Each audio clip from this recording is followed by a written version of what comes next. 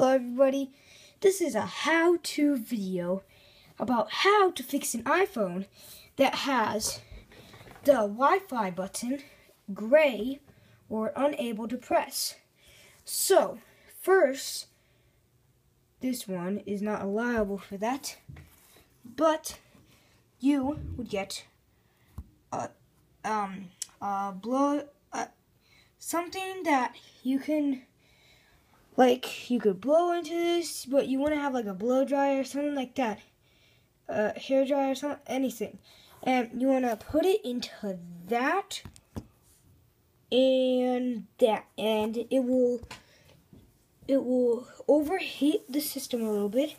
Then it will say heated up too much. You're gonna click OK, and after a few minutes, you'll click it you'll go to Wi-Fi and then you'll click turn on Wi-Fi.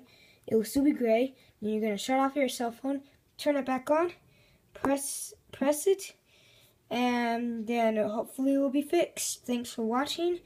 And if you want me to do more how-to videos, just comment down below, make more how-tos. Thanks for watching, and have an epic day.